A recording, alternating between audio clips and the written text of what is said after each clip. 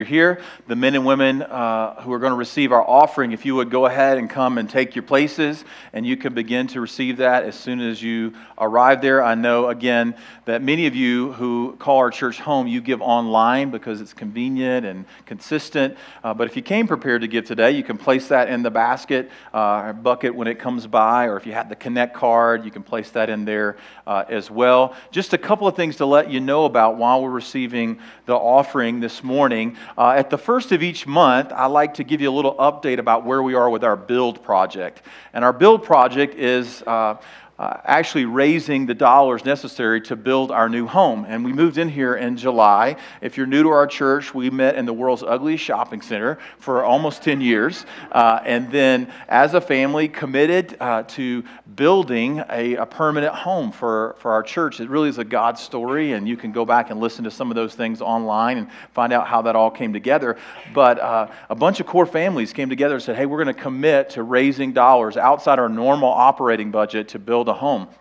And so our goal over three years was $2 million to raise uh, over that time, and then we'd finance the remaining amount with a goal to pay that off within 15 or 20 years uh, on a note. And so I like to each month come and just bring you a little update about where we are and how we're progressing with that, because a lot of you are new, but many of you, uh, you are continuing to give and sacrifice and give so much to that project. So I want to give you some encouraging news. As of uh, last Sunday, uh, we had raised $1,349,654.40 everybody. Yeah, isn't that great news? So, uh, if you're new to Journey, we never round up or round down because every single penny matters and every single person who's giving it matters to them right? And so just to give you a little bit like how are we tracking since we've moved in so many new people are joining us along the journey to say this is my home. I want to give to this. I want to be invested. In the past month uh, people have given to the build projects $85772.06 which is amazing in one month. Isn't that unbelievable? Yes thank you and then um, we have remaining on our, our goal $657,686.60. And then we have until March of 2019 to reach that goal. So I, am believing that we're going to far surpass that goal and believing that God is going to continue to uh, provide for us as a church. And the, the, the only thing I really want to say is just I'm so incredibly grateful. Thank you for your generosity. Thank you for investing in this. And I know so many of you have continued to sacrifice and given over years to this church. So thank you for doing that. And honestly, God is blessing that. Uh, we're averaging a little over a thousand people per month here, uh, excuse me, per week, uh, per Sunday here at Journey. So uh, in essence, we've been able to about double the size of our church since we've moved in here. So thank you for investing in that. It leads me to tell you a little bit about something that we do every year at Journey in Christmas time, like a year end offering we call the Legacy Offering. And so on Sunday, December 10th, we'll begin to receive our year end Christmas Legacy Offering. In our church, if you don't know, uh, the first dime of every dollar that is given to our church goes outside of our church. We give it away immediately uh, to the needs locally and around the world. We partner with a lot of churches to do church planting and missions, and so the first dime of every dollar goes outside. So, well over $100,000 has been given away to our community and the world uh, in this calendar year. And then at the end of the year, we take a special emphasis and receive a special offering to collect even more to give away. And we have what we call our three legacy lanes. And what I mean by that is there's three primary areas that this offering goes to. Uh, and one is to Journey Church. Uh, when you, if you've ever moved into a new house, like built a new house and then moved in, you know it's, it's a little tight for a while. You know what I mean? Like you, you've got to save and scrimp, and then you, you invest all you have into that. So the first part of this year, our board has challenged me and our leadership to make sure we're in the best place posture-wise for our church to continue to grow. So we'll take a little bit of that offering, put it toward that, and then we'll invest in local missions right here in South Denver and the Denver Denver metro area we, we're vetting out some places that we'll just go and write a check to and bless them in the name of Jesus from Journey Church. And then we have several global initiatives like international mission projects that we're going to be investing in. We've been going to Haiti for, I think, four years now. And so we'll be continuing to partner with them, and we're looking at a couple of other things. So I tell you this really early because I don't believe in high pressure giving.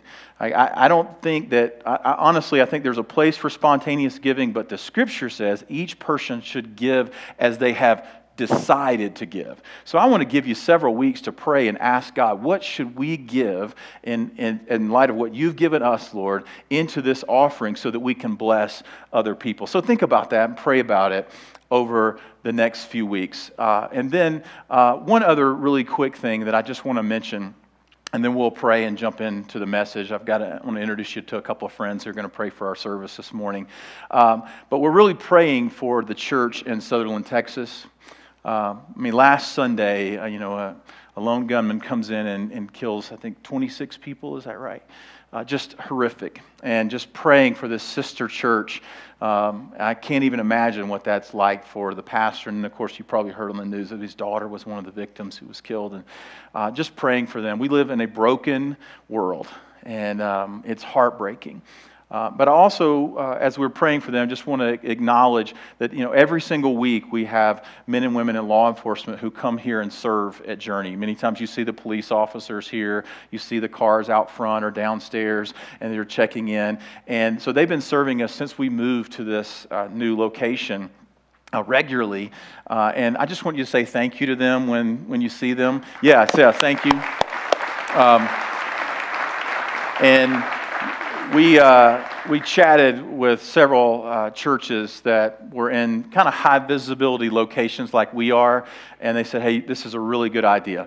And nothing's ever 100%, but it's a great deterrent when you pull into the parking lot and you see law enforcement there. And I just thank them for doing that. And uh, they're almost all school resource officers, so they know how to deal with large crowds and children. And, and so it's a great opportunity if you have kids to teach them. These are the good guys, they're helping to keep us safe. And, uh, and they really interact with a lot of our kids. They're in the pro- into the kids' programs and those kinds of things. And so, uh, anyway, I just want to say thank you to those guys and uh, appreciate you understanding that. I want to introduce you to two people, Mike and Amy Spalding. Can you guys come up onto the stage? You can bring your girls if they want to come.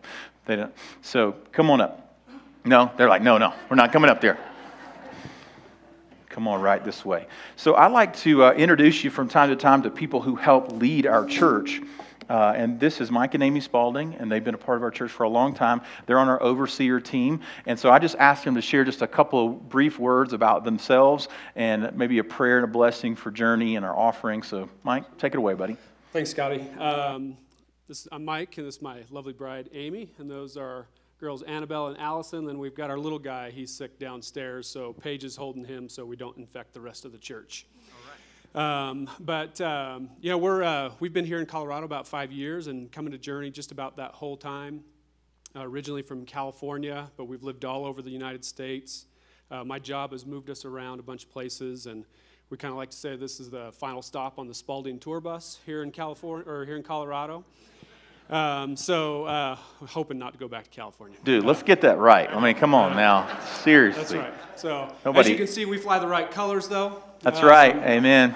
So, uh, uh, lifelong Broncos fans, uh, you know, usually you can find us chasing these little girls or a little boy around. Uh, I'm running all over the bluffs over here, getting ready for something, and working on our old house. So, uh, those are the things that we kind of are doing. And uh, other places you'll see us is back in the back serving on the soundboard, on the computers, or greeting people, or maybe we're teaching your little kids downstairs in the kindergarten or first grade room. Amy and I together. So we just so, feel so blessed to be a part of this church and a part of this family. And uh, I want to thank you guys for giving us the opportunity to serve. So I just got. Uh, I'd love to say that I've been praying this for days and days and weeks and weeks, but I stumbled on it this morning. I thought it would be good to share. Yeah, really deep. I, that's me. Way to be prepared, Mike. That's good right. job, buddy. Thanks. Uh, but uh, better late than never. So I just wanted to share this verse, and this is my prayer for us this morning. But it's in uh, in Psalms 86 verse 11 through 13. It says, Teach me your way, O Lord, and I will walk in your truth. Give me an undivided heart, that I may fear your name. I will praise you, O Lord my God, with all my heart. I will glorify you. I glorify your name forever. For great is your love toward me. You have delivered me from the depths of the grave. And I just thank you, God, for the deliverance of each and every one of us, um, the deliverance from sin and your payment for our, our, sins on the cross. And we just pray, God, that you would uh, just inspire us to have an undivided heart and uh, just chase after you really hard and, uh, and just serve one another. Um, in your name, Jesus, we pray. Amen. Thank you, guys. I really let's give them a hand. Thank you.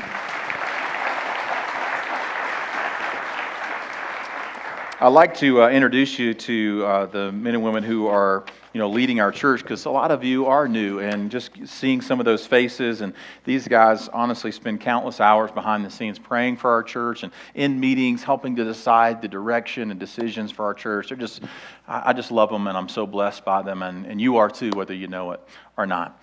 So, uh, we're going to jump into uh, a, new series today. Uh, you know, I normally pray for the Broncos, but I've decided I think I'm going to start praying for the opposite team because nothing's working. It's not working.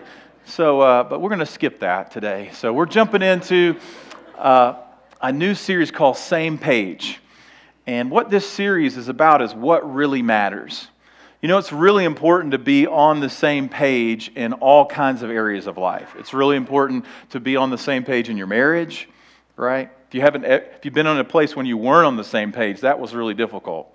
Uh, it's, it's, really important to be on your same page in, in parenting, and we have the same viewpoint, what really matters. It's really important in your in, in your office, right? Have you ever been on a team where it just felt like you just weren't headed in the same direction and it was just constant conflict and you really couldn't get accomplished what you wanted to? It's important to be on the same page in your communities and uh, schools and all different kinds of areas. It's important to be on the same page because then you can win. Then you can accomplish something great and beautiful together when everyone's in agreement on that, especially in church.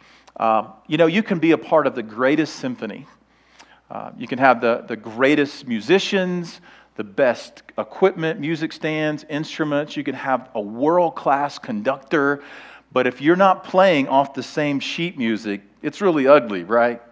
Nobody, nothing beautiful is happening. We're not impressing anybody and entertaining anyone. It's all very confusing.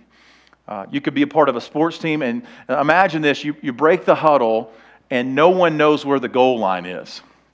And so break the huddle, and everybody runs in 11 different directions. You, you never win. And that's so frustrating. It's so confusing. I just grabbed this on the way out of the house this morning. My son uh, helped coach uh, the freshman football team at his high school, and this is a packet. And on the front it says, uh, Valor Freshman Football 2017 Defensive Package. All right, so this is just the defensive playbook for the, the 14 year old boy football team. And so you just flip it open, and oh, we got hipper cutter versus pro. And if you're, you need to make sure you're in the strong B gap, key on the guard, slant strong B gap zero plus tech. Anybody know what that means? Okay. But but here here's what I saw is this team. Uh, by the way, this team was undefeated, and um, when 14 year old boys, when the play was called, all ran to where they were supposed to be and did what they were supposed to do. Why? Why? Because they were on the same page. Everybody, they repped it, they practiced it, they said, This is what's important, this is what I do, this is what really matters. So when you came in this morning, you received a bulletin. Inside that bulletin is a little outline you can take some notes on. You can have that posture of a learner, write some things down. It is easier to get into heaven if you write things down. And so go ahead and do that. And if you're not a note taking kind of person, go ahead and do that anyway. Um, so we're going to look at a, a, couple of verses. We're just going to be in this series for two weeks. And here's what I'd like to do. Uh, today, I would like to talk about the Big C church. And here's what I mean by that like the capital C church. Like there are some things that just really matter for the church everywhere. No matter where it is in the world, these things define what's really important for the church. And then next week, we're going to talk about maybe some of the unique things to Journey. I really hope you come back. Like some of the things that are really important to us, how we work on together the things that matter, uh, these kinds of things, but just do it in a unique uh, way to our culture and our church. But I want to begin with these verses out of Acts chapter 2 and verse 42. Verses will be on the screen, uh, but they're also there on your outline, or if you want to flip open in your Bible or your Bible app. And uh, these are some familiar verses if you've been around church for a while, because we, we use them quite often as a model for what's really important in the church. In Acts chapter 2 and verse number 42, they're writing about the description of the beginning of the church. Uh, thousands of people have been added to the church. And now this is a description about what happens when they start to gather together. Uh, some people say, hey, I only like small churches. Well, you would have hated the church in the Bible because there are a lot of people who are coming to faith in Christ and responding to Jesus. But then they begin to gather, and these are the things that are important to them. Look at verse number 42. It says, They devoted themselves to the apostles' teaching and to fellowship and to the breaking of bread and to prayer. And everyone was filled with awe at the many wonders and signs performed by the apostles. And all the believers were together and had everything in common. And that's what we're focusing on today, is that we, we are a group of people who have something in common and that we're focused on something together. They sold property and possessions to give to anyone who had need.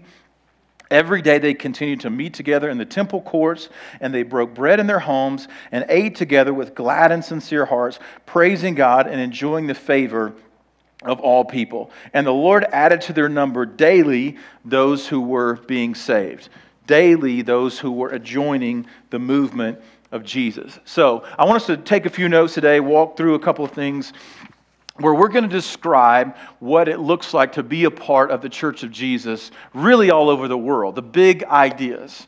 Um, I was just with uh, a global church leader on uh, Friday afternoon and Friday evening, had dinner with him. He's a bishop, which don't let that like mess you up. Just, the word bishop means overseer. He didn't have a big hat on or anything at dinner. He just he oversees a large number of churches. And so he oversees some western US churches all the way into Asia. And he's telling me stories about I just kept peppering him for stories about the global church, some of the things that he's seen.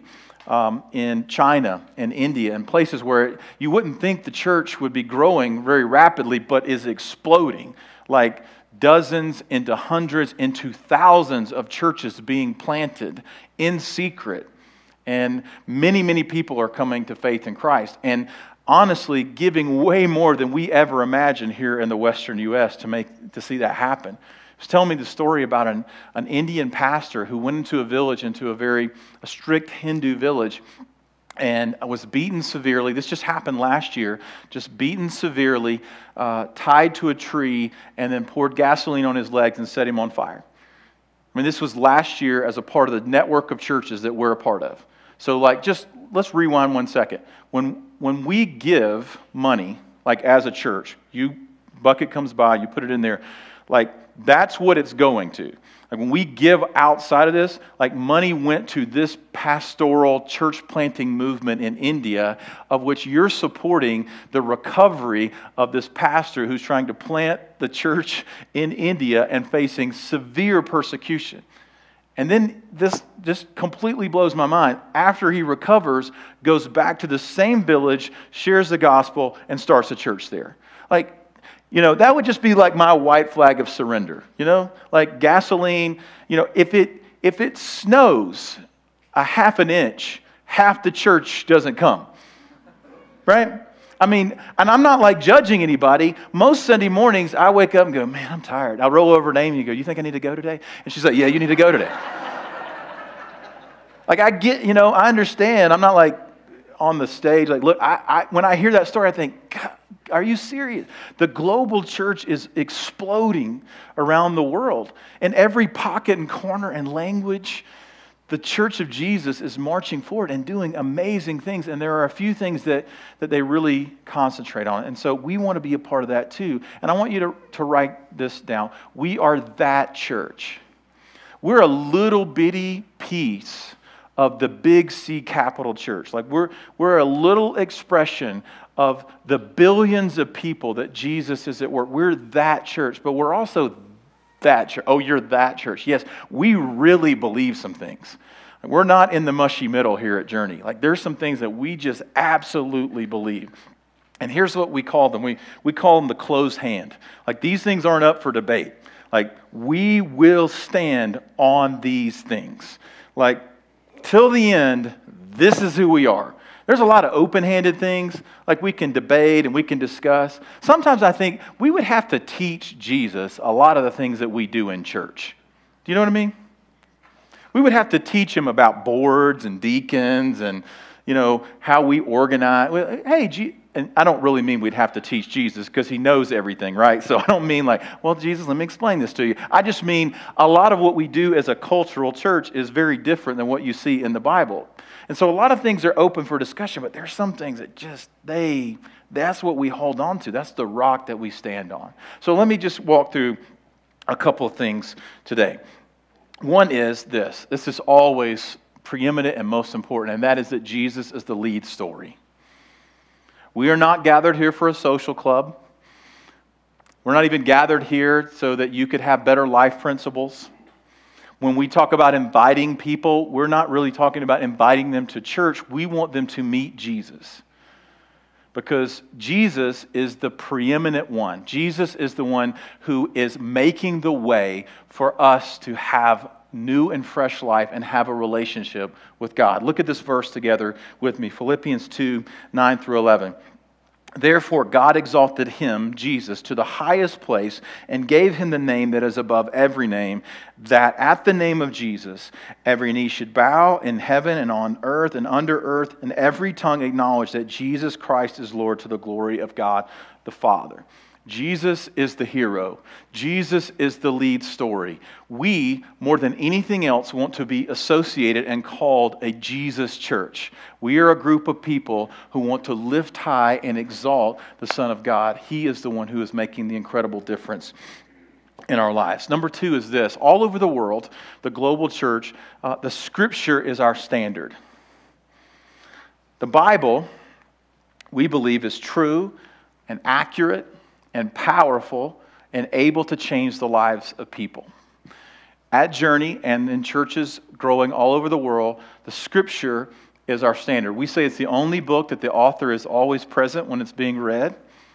It's unique uh, in its collection. It's 40, uh, excuse me, 66 books, 40 different authors, written over a period of about 1,500 years on three different continents. Yet it has this one consistent theme. That theme is that Jesus is the lead story and that he is rescuing and redeeming a people and drawing them back to God. And so the scripture will always be our filter, it will always be our standard, it is what we will go back to to make decisions. Uh, here's some important information is that many of you you may say yes i believe that. I've, I've explored. I know. I have faith. I stand with that. I believe the word of god. But you don't have to believe that to belong here there are many people who will stand here and say, I'm just not sure exactly where I am with that. That's okay too. That's part of the story of Journey. But what you need to know is that your pastors and the leaders of, of this church will always go back to the scripture as our standard. Meaning that when we come and we try to make decisions together as a church or move forward together as a church or head in this direction or that direction, we're always going to be asking, what does God's word say? We all have opinions, we all have feelings. Uh, but we don't base our church and our direction and our decisions based off our opinions or our feelings. One of the first things that we'll ask is, well, what does the Bible have to say about that? What does the scripture have to say about that? Because I don't know about you, but I change feelings like I change underwear just about every day. Hopefully, every day, babe. she gave me the, you better change it every day. But we want to stand on something. I think our world is so desperate for something that says there's certainty in that. I will lean into that. I will trust that, that the principles in the heart of the scripture matter. Look at this verse together. 2 Timothy 3 16 through 17 says this All scripture is God breathed and is useful for teaching and rebuking and correcting and training in righteousness, so that the servant of God may be thoroughly equipped for every good work. The scripture is breathed from the mouth of, the mouth of God for his, for his children to be able to know what is good and right and true and to walk in it. Third, is that we as a church and all over the world, we live by radical and practical grace. The story of the gospel, the, the word gospel means good news if you don't know. It's a It's a Roman term, Greek term. It means to uh, announce something that is good. The story of the gospel is not that we were simply bad people or that we just couldn't get it all together, weren't just really morally where we needed to be. It's that we were spiritually dead and Jesus has made us alive. And we live by this radical grace that God has bestowed and given to us by the death of Christ on the cross. Look at this verse together in Ephesians 2 8 through 10. It says, uh, For it is by grace that you have been saved, or you have come into a relationship with God through faith, and this is not of yourselves. It is, it is a gift of God not by works so that no one can boast. I didn't do enough good things to earn this. God bestowed this grace on me. We are God's handiwork created in Christ to do good works, which God prepared in advance for us to do. In other words, God, every religion in the history of man has always been defined by two letters do. What can I do to reclaim a relationship with God. And Christianity stands distinct and different by saying it's about what Jesus has done for you, that he has stood in your place for your sins. And that's radical. And we also use this word practical. Because once we have received grace from God, it is upon us to now give that.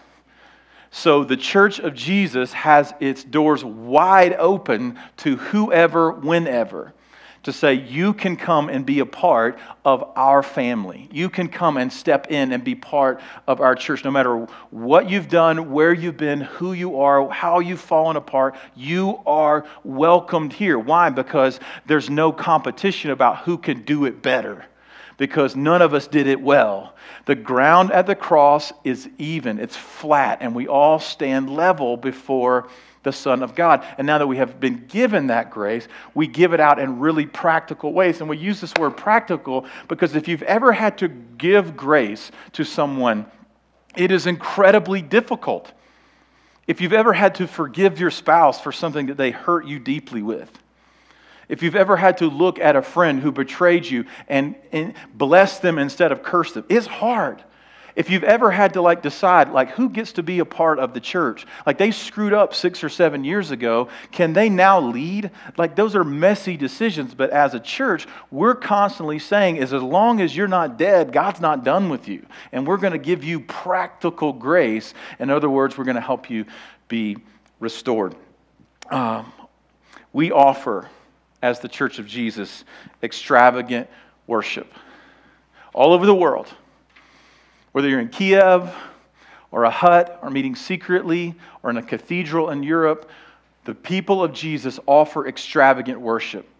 And somewhere along the way, we, we connected worship with music. And that's great. I love music. I love to sing. I love worship music. I'm a horrible singer, but I will sing out loud. If you see me driving down the road, I'm going after it, just singing, thinking I sound good. Do you think you sound good? Have you ever had that moment when you're singing, either in the shower or driving down the road, and you're like, that was pretty good. That was pretty good.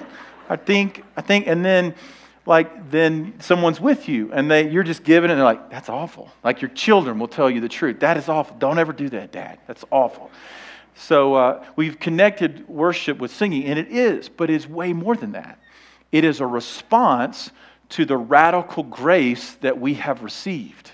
And therefore, it's not just about a song, it's about our whole life. Worship is not what we do, it's why we do it. So look at this verse together. Uh, Romans 12, 1. Therefore, I urge you, brothers and sisters, in the view of God's mercy, to offer your bodies as a living sacrifice, holy and pleasing to God. This is your true and proper worship. In other words, I offer all of me because, Jesus, you gave all of yourself for me. And worship is a response to that grace. I want to show you just a two minute video of something I experienced several years ago in 2009. Would you turn your attention to the screens? We're going to click on play in just a second, but let me set it up. Uh, this young man uh, was raised in Africa and was sponsored as a compassion child Um, and so he begins to tell the story of what happened to him. And you know, do you understand Compassion Children, where people will sponsor a child and give money each month to make sure that they have the basic needs that they have, and then they will write letters to them and you know try to get to know them. And so the young man who started giving to this other young man, he, his his name was Mark, and I believe the the man who was receiving the the aid through the compassion, his name was Jimmy, and living in Africa. I think he started when he was about six years old, four or six years old, and now he's a grown man telling some of that story. So let's turn the attention to the screens and watch just this two minute quick little video. Because from then, my life is a different life. I'm at Moody Bible Institute right now, studying the Bible. To go back to Kenya,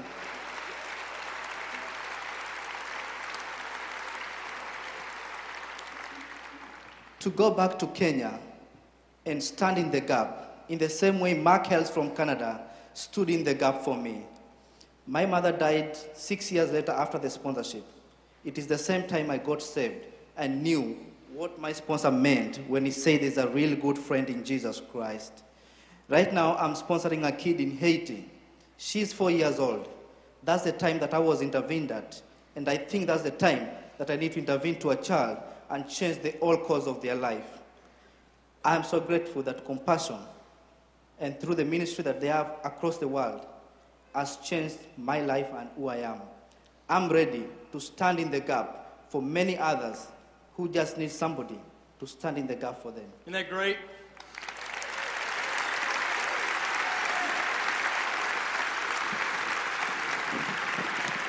Here's a young man whose life was changed by the love of Christ being put in action through a young 20 year old, and now he's standing in the gap and helping others. One question Have you ever talked to your sponsor? No. You have not? No. Well, would you like to meet him right now? Ladies and gentlemen, welcome Mark Hales, Jimmy's sponsor.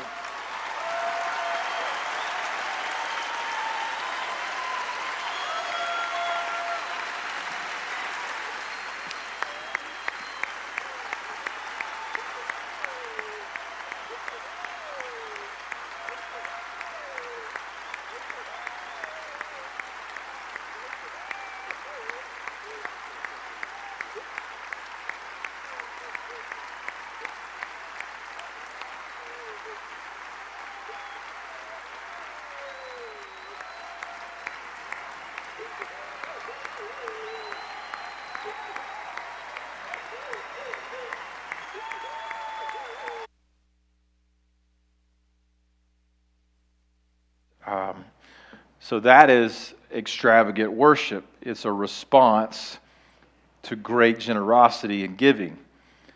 Um, I mean, I was sitting there with, uh, is Luke in here? Luke was with me, a couple other guys. We're sitting maybe six or eight rows up. Uh, we will be forever marked by that moment. Because, um, I mean, it was obviously a surprise. Um, and, I mean, they're not dry in the place uh, because this kid started giving. I think he was like 19 year old college student, gave like 20 years, and then he he bumps into the kid that he's giving, and and that guy just responds, right? He, that, it wasn't like, you know what, I'm going to think about, I'm going to think about whether or not I'm going to cry here or what. He just responded, and it, I cut it off, but he, he gets so emotional, he has to like sit down. Um, because he was so grateful for the grace that had been given to him. And you already heard what he was talking about, right?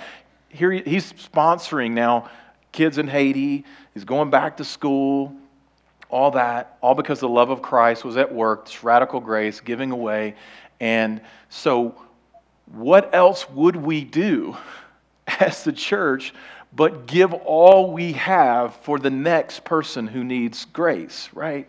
That's that's what the church of Jesus does. God has given me this, something I could never repay, something I can't even fathom. I'm overwhelmed by it, and now I give. Yeah, I sing. Yeah, I might raise a hand. Yeah, I might get emotional and cry. But the greatest act of worship is giving away that grace to somebody else. That's the church of Jesus.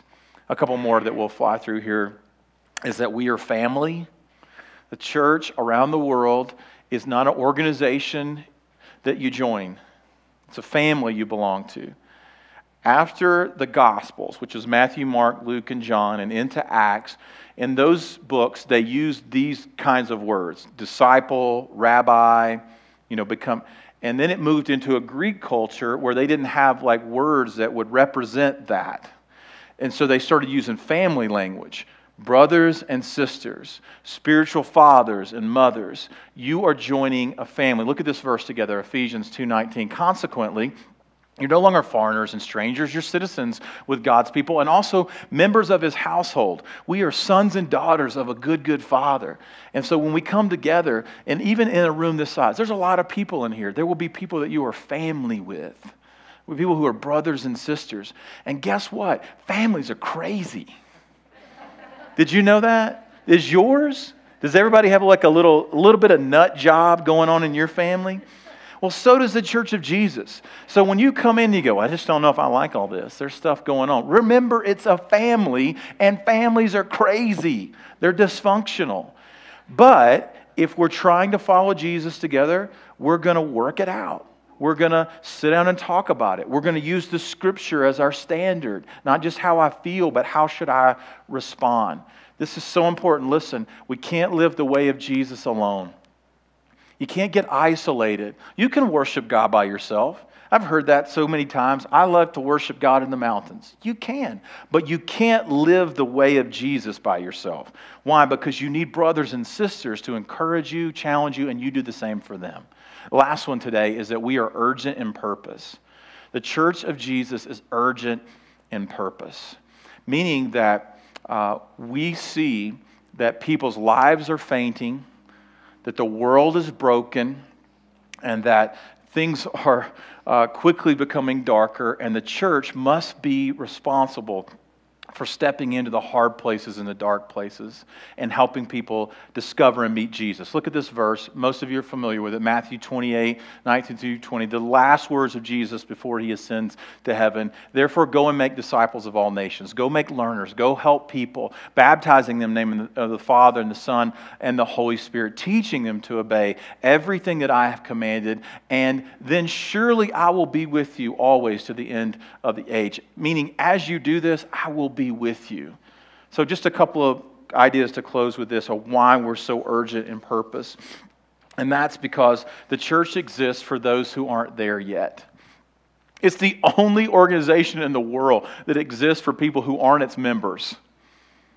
Like we exist for the people who aren't here yet. And so that's why we built a new house, and that's why we invite, and that's why we have conversations, because we exist for people who haven't yet found the grace that we might have found.